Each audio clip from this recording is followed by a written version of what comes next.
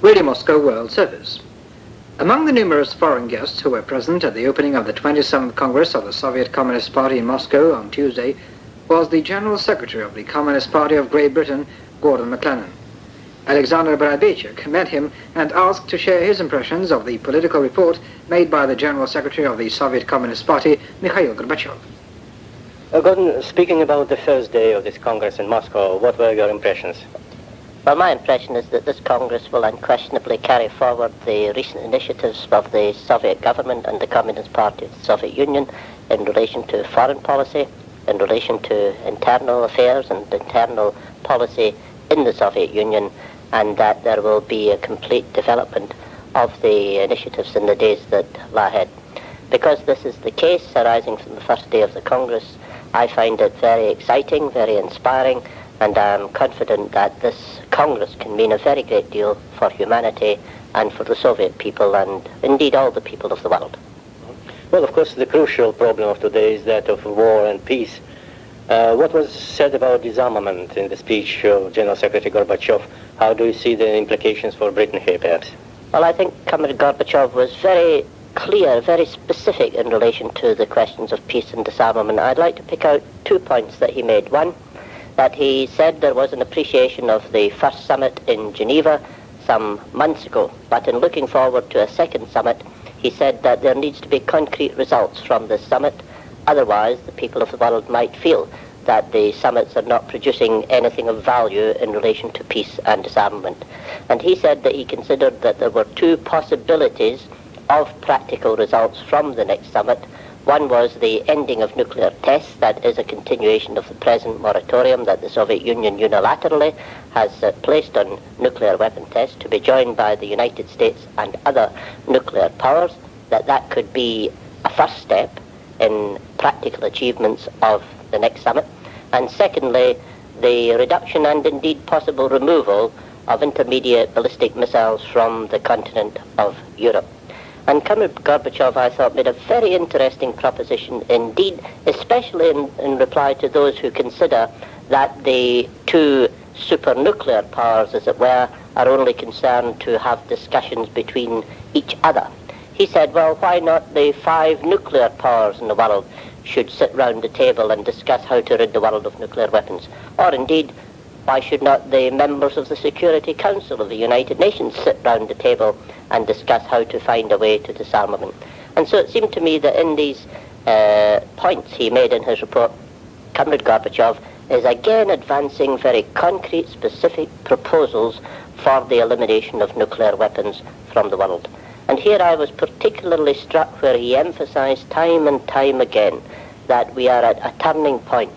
There is no alternative to the policies of peace and disarmament, that the nightmare of nuclear war must be taken away from the horizons of humanity. And in this I have absolutely no doubt that Comrade Gorbachev was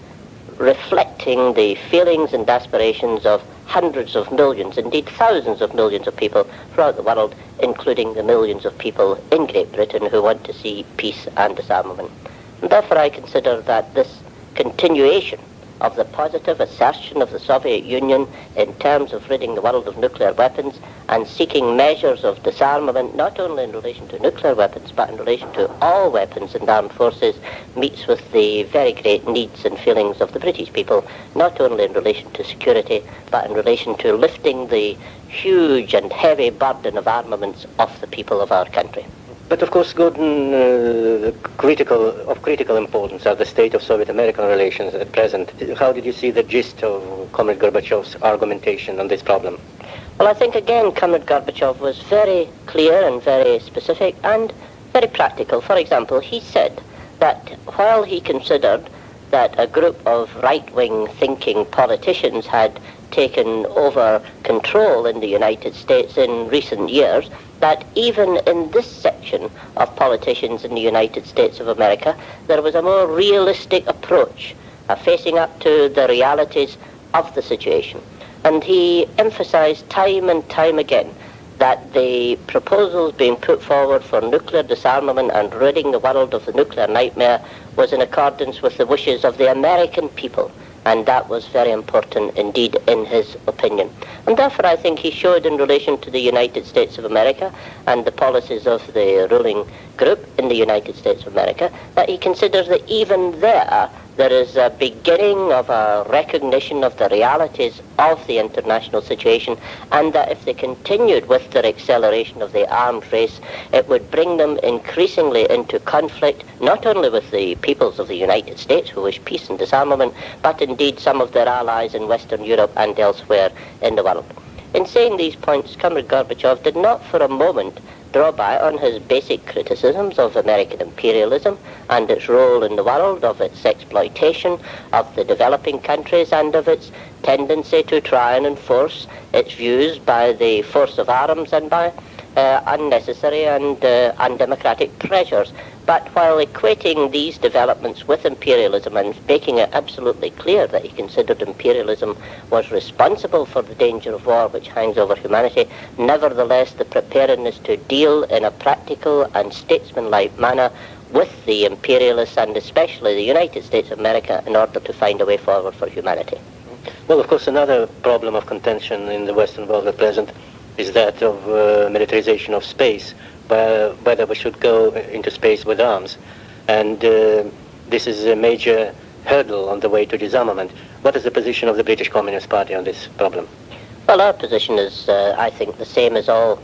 sane-thinking people in our own country and throughout the world, except those who are insane in terms of their wish to dominate the world and indeed to dominate space with nuclear weapons. We consider, like all sensible thinking people, that to accelerate the arms race into space is an absolutely impermissible development as far as nuclear weapons is concerned. The peaceful exploration of space, that is the issue, as Comrade Gorbachev indeed put it in his report. What we want is the peaceful exploration of space for the benefit of humanity, for the benefit of future generations, and are totally opposed to the militarization of space. And I believe in saying this, we not only speak for communists in Britain, we speak for the overwhelming majority of the population in Britain and in the world, and we must make our views clear about that so that this acceleration of the arms race into space does not take place because if it does, then indeed it is a very major road step on the road towards disaster for humanity. Comrade Gorbachev dedicated much of his time to dealing with domestic problems here in the Soviet Union, and he has made uh, principal statements about the Soviet economy and strengthening of the, so of the socialist democracy. How did you see that?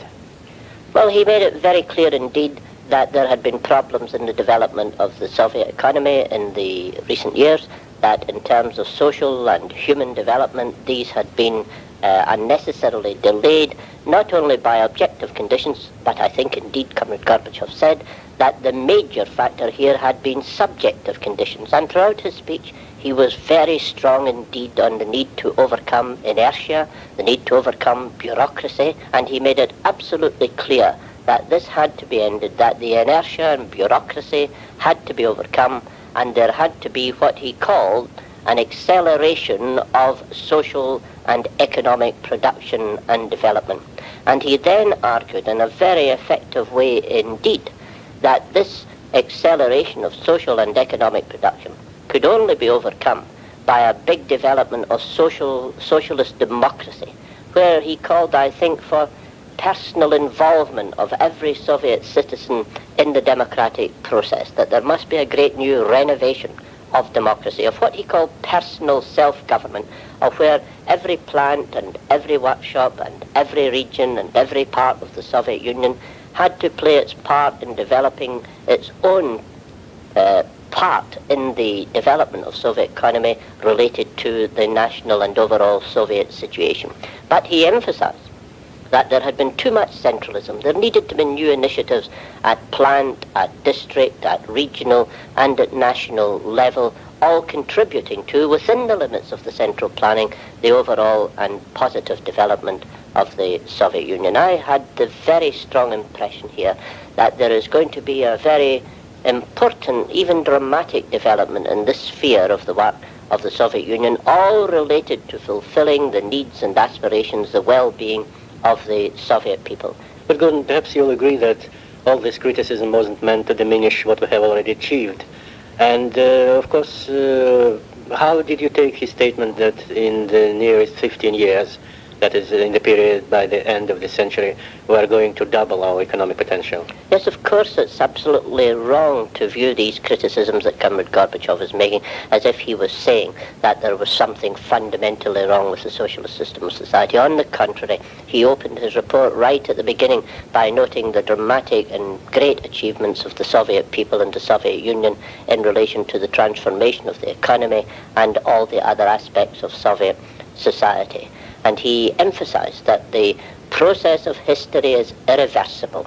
that socialism is going to make a major contribution in the development of history, and that the doubling of the living standards and well-being of the Soviet people between now and the end of the century was entirely possible, and they were setting the same from this Congress. And therefore he was in a confident, while critical mood, he was in a confident mood, based on his confidence in the people of the Soviet Union and in the Soviet Communist Party to deal with any inadequacies, indeed any violation of socialist legality or of socialist norms of behavior, and produce the kind of results that this Congress is demanding and that the people of the Soviet Union are obviously wanting to have. Speaking about the general message of the first day of the Congress, what was it for you personally?